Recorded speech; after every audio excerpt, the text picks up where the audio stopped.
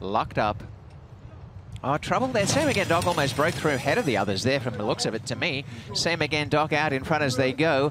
Away well was Gospel Way, and over on the outside is Chancel as they settle into stride. The top trio clear a couple of lengths to HC Holiday. Moving up is Hellbent on the inside, Awesome Crest mid-pack. And behind them, Box and Score, the Rail Credit River from October Frost. And second last hit the point about five away last is Download and showing the way. Same again, Doc on the inside and out wider Chancel by a length. Gospel Way tucks in for the trail in third. A break of three lengths to Hellbent on the outside of Awesome Crest. One and a half HC Holiday, a similar margin box and score. Credit River behind them from October Frost. And second last hit the point. Three away last is Download. Racing wider on the track. Chancel goes for the lead here. Takes it away too from Same Again Doc. Got out to lead almost a length. A couple to Gospel Way, Hellbent and two away. HC Holiday nudging up to join Awesome Crest.